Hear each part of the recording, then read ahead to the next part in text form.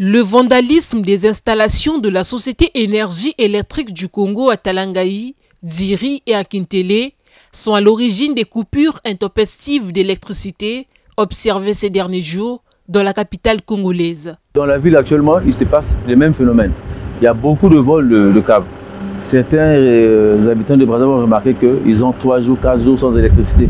Mais c'est dû au fait que les inciviques sont en train de partir, du câble à la recherche. Vous imaginez un câble qui transite du 20 000 volts. On prend le carton, on creuse, on enlève, on met le feu, on fait déclencher et ensuite on voit une bonne partie du câble. Nous sommes euh, vraiment très tristes de voir le sabotage qui se passe. derrière moi, vous avez un transformateur qui servait à alimenter le viaduc en énergie électrique pour euh, l'éclairage public. Et comme vous le constatez, il a été complètement saboté. Ici, même les installations de Congo Télécom qui passent sous le viaduc n'ont pas été épargnées. Ici, on venait de réparer et les inciviques sont venus mettre du feu, ils mettent le carton, ils brûlent et ça brûle les câbles, y compris la fibre optique qui juxtapose nos, nos câbles.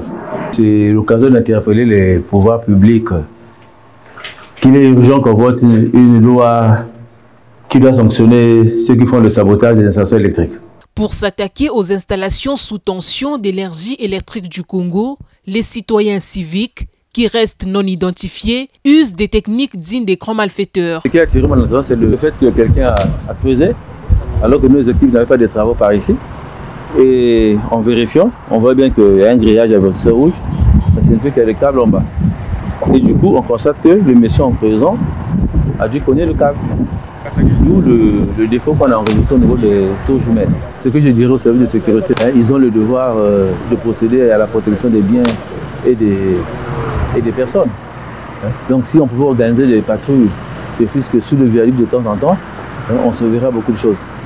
Non loin du viaduc, à Manianga, un autre câble souterrain de très haute tension a été également vandalisé. Toutefois, la Société Énergie électrique du Congo lance à nouveau un appel de vigilance à l'endroit des populations, y compris les services de sécurité pour la sécurisation des installations électriques.